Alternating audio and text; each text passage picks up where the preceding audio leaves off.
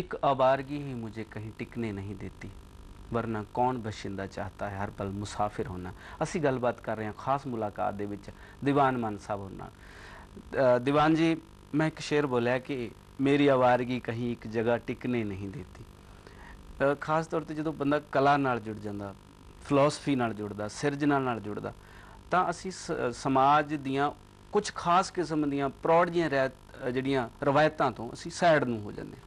ਉਹਦੇ ਵਿੱਚ ਘਰਦਿਆਂ ਦਾ ਦੋਸਤਾਂ ਦਾ ਇੱਕ ਖਾਸ ਕਿਸਮ ਦਾ ਰਿਐਕਸ਼ਨ ਵੀ ਆਉਂਦਾ।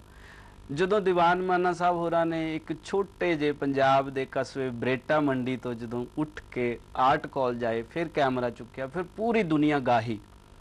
ਕੁਝ ਰਿਐਕਸ਼ਨ ਕੁਝ ਐਕਸ਼ਨ ਮਿਲੇ ਚੰਗੇ ਘੱਟ ਚੰਗੇ। ਚੰਗੇ ਹੀ ਮਿਲੇ।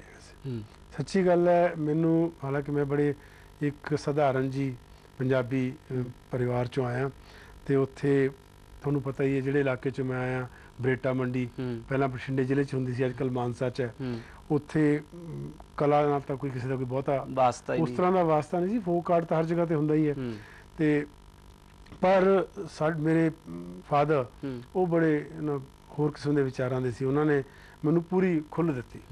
ਅਦਰਵਾਈਜ਼ ਮੈਨੂੰ ਦੋਸਤਾਂ ਦੀ ਦੋਸਤਾਂ ਦੀ ਬਹੁਤ ਵੱਡੀ ਸਪੋਰਟ ਰਹੀ। ਮੈਂ ਸੱਚੀ ਕਹਿ ਰਿਹਾ ਮੈਨੂੰ ਲਗਭਗ ਸਾਰੇ ਦੋਸਤਾਂ ਨੇ ਇੰਨਾ ਪਿਆਰ ਤੇ ਇੰਨਾ ਹੁਲਾਰਾ ਹੁੰਗਾਰਾ ਦਿੱਤਾ ਹੈ ਜਿਹਦਾ ਮੈਨੂੰ ਜ਼ਿੰਦਗੀ ਨੂੰ ਸਮਝਣ ਚ। ਆਪਦੇ ਆਪ ਨੂੰ ਹੋਰ ਡਿਵੈਲਪ ਕਰਨ ਚ।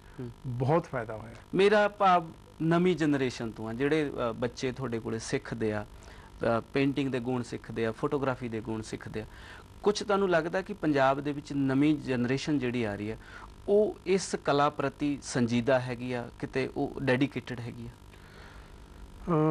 ਪਰਸਨਲ ਲੈਵਲ ਤੇ ਕਿਉਂਕਿ ਤੁਹਾਡੇ ਨਾਲ ਬਹੁਤ ਸਾਰੇ ਬੱਚੇ ਜੁੜਦੇ ਆ ਤੁਹਾਡੇ ਤੋਂ ਸਿੱਖਦੇ ਆ ਮੈਂ ਦੇਖੇ ਆ। ਮੈਂ ਤੁਹਾਡੇ ਮਿਲਦਾ ਰਹਿਣਾ ਤੁਹਾਨੂੰ ਅਕਸਰ। ਮੇਨ ਗੱਲ ਇਹ ਕਿ ਪੰਜਾਬ ਦੇ ਵਿੱਚ ਦੇਖੋ ਟੈਲੈਂਟ ਦੀ ਕੋਈ ਘਾਟ ਨਹੀਂ। ਹਾਂ। ਪਰ ਸਾਡੇ ਕੋਲ ਉਦਾਂ ਦੇ ਅਦਾਰੇ ਹੈ ਨਹੀਂ। ਹੂੰ। ਜਿੱਥੇ ਉਹਨਾਂ ਨੂੰ ਇਸ ਜਿਹੜੀ ਵਿਧਾ ਹੈਗੀ ਇਹਦੇ ਵਿੱਚ ਕੋਈ ਖਾਸ ਕਿਸਮ ਦੀ ਟ੍ਰੇਨਿੰਗ ਦਿੱਤੀ ਜਾਵੇ। ਟ੍ਰੇਨਿੰਗ ਤੋਂ ਇਲਾਵਾ ਵੀ ਇੱਕ ਜਿਹੜੀ ਜ਼ਰੂਰੀ ਚੀਜ਼ ਹੈਗੀ ਹੈ ਇੱਕ ਜਿਹੜੀ ਓਰੀਐਂਟੇਸ਼ਨ ਹੈਗੀ ਹੈ। ਉਹਦੇ ਲਈ ਸਾਨੂੰ ਉਸ ਕਿਸਮ ਦੇ ਗੁਣੀ ਬੰਦੇ ਚਾਹੀਦੇ ਨੇ। ਸਾਡੇ ਕੋਲ ਇੱਕੋ ਹੀ ਬੰਦਾ ਜਿਹਨੂੰ ਮੈਂ ਜਾਣਦਾ ਘੱਟੋ ਘੱਟ ਪੰਜਾਬ 'ਚ। ਉਹ ਪ੍ਰੋਫੈਸਰ ਲਾਲੀ ਜਿਹੜੇ ਪਟਿਆਲੇ ਦੇ। ਉਹਨਾਂ ਤੋਂ ਬਹੁਤ ਸਿੱਖਿਆ ਉਹ ਤੁਰਦੇ ਫਿਰਦੇ ਇਨਸਾਈਕਲੋਪੀਡੀਆ ਨੇ। ਤੇ ਉਹਨਾਂ ਕੋਲ ਜ਼ਿੰਦਗੀ ਨੂੰ ਘੋਖਣ ਦੀ ਪਰਖਣ ਦੀ ਦੇਖਣ ਦੀ ਉਹਦੇ ਨਾਲ ਜਦੋਜਹਿਦ ਕਰਨ ਦੀ ਜੋ ਖਮਤਾ ਹੈ ਜਾਂ।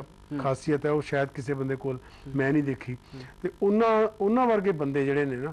ਜਿਹੜੇ ਜਿਵੇਂ ਸਤਿਆਰਥੀ ਹੋਰ ਸੀ ਇਦਾਂ ਹੀ ਤਰ੍ਹਾਂ ਲਾਲੀ। ਸਾਹਿਬ ਵੀ ਹੀ। ਘੁੰਮਦੇ ਰਹਿੰਦੇ ਸੀਗੇ।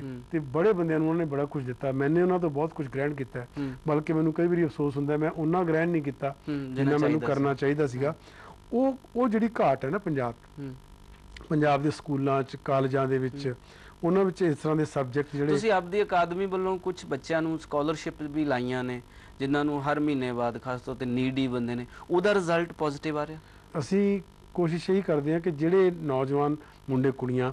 ਜਿਹੜੇ ਥੋੜਾ ਅੱਛਾ ਕੰਮ ਕਰ ਰਹੇ ਨੇ ਅੱਛਾ ਕੰਮ ਕੰਮ ਕਰਨ ਦੀ ਉਹਨਾਂ 'ਚ। ਪੋਸਿਬਿਲਿਟੀ ਲੱਗਦੀ ਹੂੰ। ਉਹਨਾਂ ਨੂੰ ਹੋਰ ਹੱਲਾਸ਼ੇਰੀ ਦਿੱਤੀ ਜਾਵੇ। ਇੱਕ ਤਾਂ ਅਕੈਡਮੀ ਦਾ ਜਦੋਂ ਨਾਂ ਨਾਲ ਜੁੜ ਜਾਂਦਾ ਹੈ ਉਹਨਾਂ ਨੂੰ ਲੱਗਦਾ ਸਾਨੂੰ ਇੱਕ ਅਕੈਡਮੀ ਦਾ ਸਕਾਲਰਸ਼ਿਪ ਹੋਲਡਰ ਹੈਗੇ ਆ। ਪਲੱਸ ਉਹਨਾਂ ਨੂੰ ਥੋੜੀ ਜੀ ਜਿਹੜੀ ਫਾਈਨੈਂਸ਼ੀਅਲ ਹੈਲਪ ਹੋ ਜਾਂਦੀ ਹਾਂ। ਤੇ ਉਹਦੇ ਨਾਲ ਉਹਨਾਂ ਨੂੰ ਆਪਣੇ ਕੰਮ 'ਚ ਹੋਰ ਐਕਸਪੈਰੀਮੈਂਟ ਕਰਨ ਦਾ ਮੌਕਾ ਮਿਲ ਜਾਂਦਾ ਹੈ। ਤੇ ਜਿਹੜਾ ਅਸੀਂ ਦੇਖਿਆ ਜਿਹੜੇ ਬੱਚਿਆਂ ਨੂੰ ਵੀ ਕਿਉਂਕਿ ਅਸੀਂ ਬਹੁਤ ਧਿਆਨ ਨਾਲ।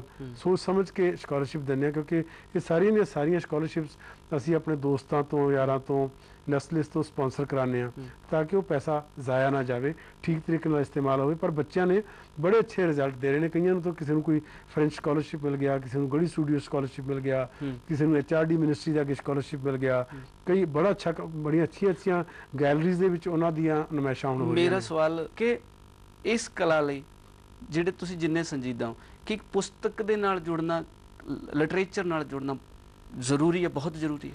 ਪੁਸਤਕ ਤਾਂ ਇਦਾਂ ਦੀ ਚੀਜ਼ ਹੈਗੀ ਹੈ ਦੇਖੋ ਜੀ ਕਹਾਣੀ ਕਵਿਤਾ ਜਿਹੜੀ ਹੈ ਉਹ ਤੁਸੀਂ ਫੋਟੋਗ੍ਰਾਫੀ ਨਾ ਕਰਨੀ ਹੋਵੇ ਪੇਂਟਿੰਗ ਨਾ ਕਰਨੀ ਹੋਵੇ ਤਾਂ ਵੀ ਜ਼ਰੂਰੀ ਹੈ।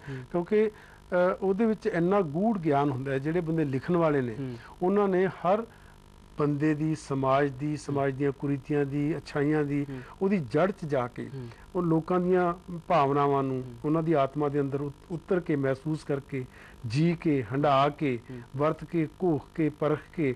ਉਹਨਾਂ ਨੂੰ ਐਕਸਪ੍ਰੈਸ ਕੀਤਾ ਹੁੰਦਾ ਹੈ। ਸ਼ਬਦਾਂ ਦੇ ਜ਼ਰੀਏ ਦੀ ਕਹਾਣੀ ਬਣਾ ਕੇ। ਜਿਹੜੀ ਥੋੜੀ ਜ਼ਿੰਦਗੀ ਦੀ ਲੋਕਾਂ ਦੀ ਆਪਣੇ ਭਾਈਚਾਰੇ ਦੀ ਸਮਝ ਨੂੰ ਵਧਾਉਂਦੀਆਂ ਨੇ। ਤੇ ਉਹ ਹਰ ਹਰ ਜਗ੍ਹਾ ਤੇ ਤੁਹਾਡੇ ਕੰਮ ਆਉਂਦੀਆਂ ਜੇ ਤੁਸੀਂ ਚੰਗਾ ਕਲਾਕਾਰ ਬਣਨਾ ਹੈ ਚਾਹੇ ਡਾਂਸਰ ਵੀ ਬਣਨਾ ਹੈ ਮਿਊਜ਼ੀਸ਼ੀਅਨ ਵੀ ਬਣਨਾ ਹੈ। ਤੇ ਉਹ ਪੜ੍ਹਨਾ ਤਾਂ ਜ਼ਰੂਰੀ। ਹੈ ਹੀ ਹੈ। ਬਿਲਕੁਲ। ਮੈਨੂੰ ਪਾਤਰ ਸਾਹਿਬ ਦੀਆਂ ਸਤਰਾਂ ਯਾਦ ਆ ਰਹੀਆਂ ਕਿ ਅਸਾਂ ਤੇ ਸਦਾ ਖੂਨ ਵਿੱਚ ਡੁੱਬ ਕੇ ਲਿਖੀ ਹੈ ਗਜ਼ਲ। ਉਹ ਹੋਰ ਹੋਣਗੇ ਜੋ ਲਿਖਦੇ ਹਨ ਬਹਿਰ ਅੰਦਰ। ਮੇਰੇ ਖਿਆਲ ਚ ਮੈਂ ਇੱਕ ਪੂਰੀ ਲਿਸਟ ਬਣਾਈ ਸੀ ਸਵਾਲਾਂ ਦੀ। ਇਹਨਾਂ ਚ ਮੈਂ ਇੱਕ ਵੀ ਸਵਾਲ ਨਹੀਂ ਕਰ ਸਕਿਆ। ਮੇਰੇ ਬਹੁਤ ਸਾਰੇ ਸਵਾਲ ਰਹਿ ਗਏ। ਵਕਤ ਸਾਨੂੰ ਇਜਾਜ਼ਤ ਨਹੀਂ ਦੇ ਰਿਹਾ। ਤੇ ਮਾਨਾ ਸਾਹਿਬ ਤੁਸੀਂ ਸਾਡੇ ਸਟੂਡੀਓ ਆਏ ਬਹੁਤ ਸਾਰੀਆਂ ਗੱਲਾਂ ਕੀਤੀਆਂ। ਅਗਲੀ ਵਾਰੀ ਮਿਲਾਂਗੇ ਰਹਿੰਦੀਆਂ ਹੋਈਆਂ ਗੱਲਾਂ ਅਸੀਂ ਫੇਰ ਕਰਾਂਗੇ। ਥੈਂਕ ਯੂ ਸੋ ਮੱਚ ਮਿਹਰਬਾਨੀ। ਮਿਹਰਬਾਨੀ।